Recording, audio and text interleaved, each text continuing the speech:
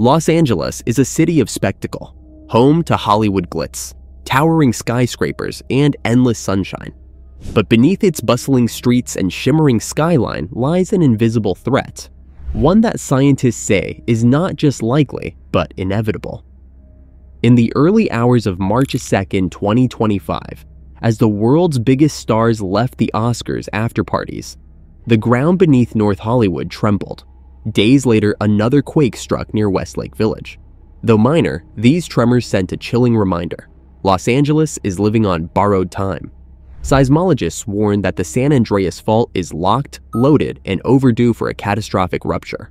When will it strike? And more importantly, will the city be ready? History tells us that devastation is not a matter of if, but when. The 1994 Northridge earthquake killed dozens and caused billions in damages.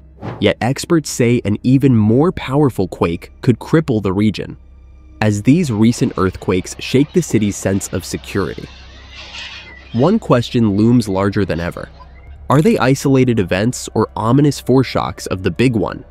Let's find out. Don't forget to click on that subscribe button and like this video as it's the best way to support this channel. The March 2nd earthquake, which struck North Hollywood, was felt widely across Los Angeles, but did not cause any significant damage or injuries. The quake occurring just after the conclusion of the Oscars ceremony, was a stark reminder that no event, no matter how grand, is immune to the natural forces shaping Southern California. The shaking was particularly noticeable in Universal City, Studio City, and other parts of the San Fernando Valley. Although magnitude 3.9 is relatively small compared to major earthquakes, its location in a densely populated urban area made it more noticeable and concerning for residents. A week later, on March 9th, another earthquake, this time measuring a magnitude 4.1, struck southwest of Westlake Village. While this quake was also not destructive, it reinforced the reality that seismic activity in the region is ongoing and unpredictable. Earthquakes of this magnitude are generally considered minor, but they serve as a stark reminder of the more powerful tremors that have struck California in the past. Given the history of seismic activity in the region, these recent earthquakes have prompted renewed discussions about preparedness and the potential for a far more catastrophic event in the near future. Los Angeles has a long history of destructive earthquakes. Some of the most infamous quakes in California's history include the 1906 San Francisco earthquake, the 1971 Sylmar earthquake, the 1987 Whittier Narrows earthquake, and the devastating 1994 Northridge earthquake. The latter, which measured 6.7 in magnitude, caused widespread destruction, killed 57 people, and resulted in billions of dollars in damages. The Northridge quake demonstrated the extent to which Southern California is at risk and exposed vulnerabilities in the region's infrastructure, particularly unreinforced buildings, highways, and older constructions. The more recent Ridgecrest earthquakes of 2019, which included a magnitude 6.44 shock followed by a 7.1 main shock, served as another reminder that large earthquakes can strike California with little warning. While Ridgecrest is located farther from Los Angeles, these quakes demonstrated how powerful seismic activity can affect broad regions, causing widespread shaking even in distant metropolitan areas. Given this historical context, every earthquake, no matter how minor, is a reminder that Southern California is due for another major event. Los Angeles is one of the most seismically active regions in the world, largely due to its position near the boundary of two massive tectonic plates, the Pacific Plate and the North American Plate. These plates are in constant motion, shifting at an average rate of about 2 inches per year. While this movement is imperceptible on a daily basis, over decades and centuries, stress builds up along fault lines where the plates grind against each other. When the stress exceeds the strength of the rock, the stored energy is suddenly released in the form of an earthquake. At the heart of this seismic activity is the San Andreas Fault, an enormous fault that stretches over 800 miles through California. It marks the boundary between the two colliding plates, and as they slide past one another, they create significant tectonic strain. This fault is particularly dangerous because it is a strike slip fault, meaning that the plates move horizontally against each other rather than pushing together or pulling apart. This sideways motion produces intense shearing forces, making the region prone to violent shaking. The San Andreas Fault has not experienced a truly massive rupture in Southern California for over 150 years, which is why seismologists believe it is overdue for a significant quake. The last major rupture on the southern portion of the San Andreas occurred in 1857 with the magnitude 7.9 Fort Tejon earthquake. Since then, pressure has been building along the fault, increasing the likelihood of a massive event.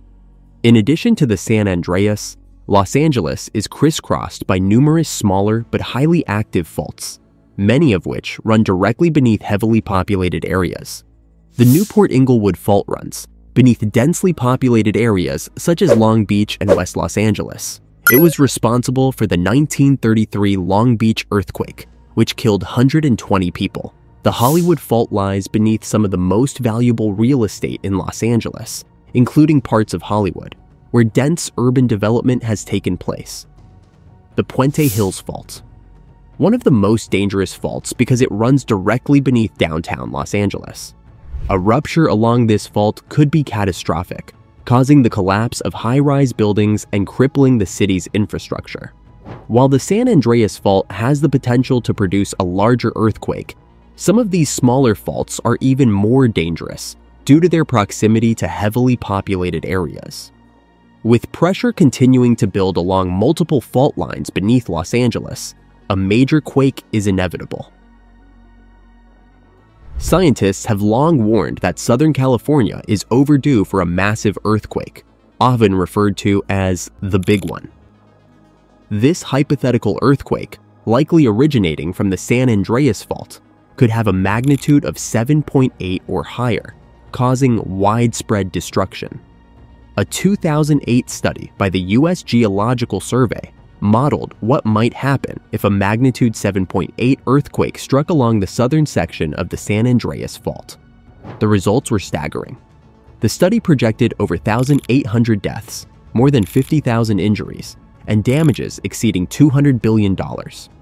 Essential infrastructure, including transportation, power, water, and communication networks, would face severe disruptions, making emergency response efforts even more challenging. Compounding the devastation, broken gas lines could ignite widespread fires, leading to further destruction. Such an earthquake would not only devastate Los Angeles, but would also impact San Bernardino, Riverside, and other regions along the fault.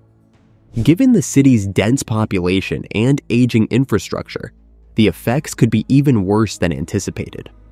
The recent earthquakes have only heightened concerns that a major event is approaching.